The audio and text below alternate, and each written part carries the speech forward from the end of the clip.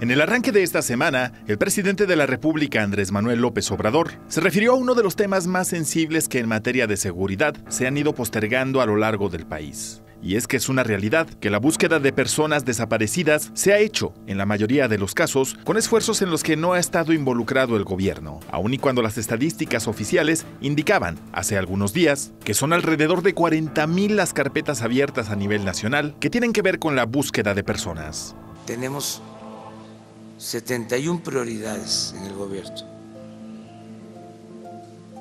Y la número uno es la búsqueda de desaparecidos. Eso es lo que dijo el presidente de la República, Andrés Manuel López Obrador, acerca de las prioridades de este gobierno, en las que agregó que los esfuerzos se están haciendo y que no se está escatimando en ningún tipo de recursos y estoy satisfecho porque quienes están atendiendo esta tarea son gentes de primera. No han dejado de trabajar. Alejandro Encinas va personalmente a el terreno donde se están encontrando las fosas. Ahora mucho más porque hay recursos para eso. Los familiares de los desaparecidos están participando más y saben que es un plan sin embargo, el punto de partida es incierto y queda completamente opacado luego de que el gobierno federal tomara la decisión de eliminar de todas sus bases de datos públicas el Registro Nacional de Personas Desaparecidas, que desglosaba, entre otras cosas, las entidades de origen, la edad de las personas bajo dicha condición y los momentos históricos en los que estas desapariciones ocurrieron. Así, son estas pantallas las que aparecen cuando usted intenta ingresar tanto al sitio web específico de la Secretaría de Gobernación en el que se informa sobre personas desaparecidas y las bases de datos alojadas en otros espacios, como las plataformas de gobierno abierto, en las que hoy no hay absolutamente nada de información.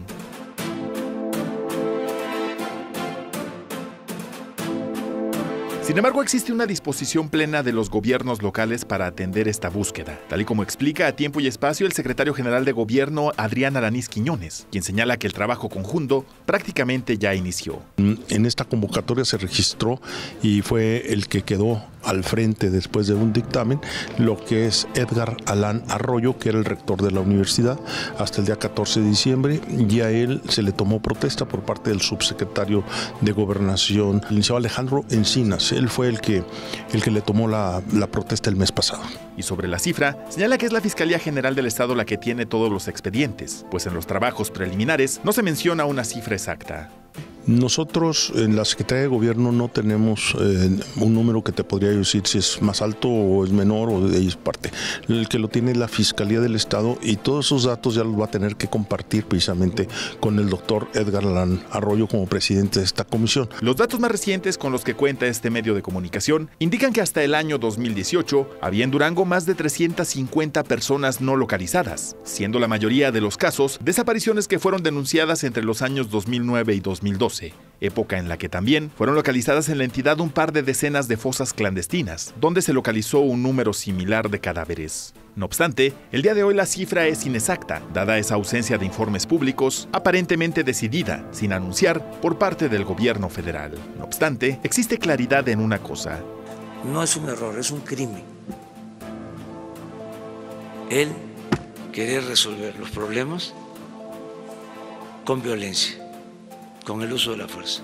Y los recursos serán importantes para realizar esta estrategia. Este, ahora el presidente anuncia que va a haber recursos económicos por parte de la federación precisamente para apoyar y para respaldar todo este tipo de acciones. Es a partir de esta semana, pues, que se reinicia una estrategia para encontrar a más de 40 mil mexicanos cuya ubicación se desconoce, pero que son la mayoría víctimas claras de la embestida violenta que nuestro país vive desde el año 2007. Con imágenes y producción de Joel Carrillo, informó para Tiempo y Espacio Luis Lozano.